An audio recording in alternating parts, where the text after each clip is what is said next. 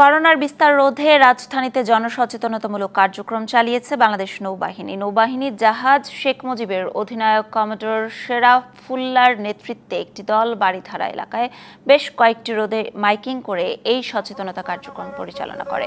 প্রয়োজন ছাড়া রাজধানীবাসীকে অযথা অযথা বাসা থেকে বের না হওয়া এবং স্বাস্থ্য সুরক্ষা সামগ্রী ব্যবহার করে নিজেদের নিরাপদ রাখার জন্য আহ্বান জানান তারা। এ সময় নৌবাহিনীর পক্ষ থেকে বেশ কয়েকটি রাস্তায় জীবাণুনাশক স্প্রে করা হয়। হাসি কাশি শিষ্টাচার মেনে চলে রুমাল অথবা টিস্যু ব্যবহার।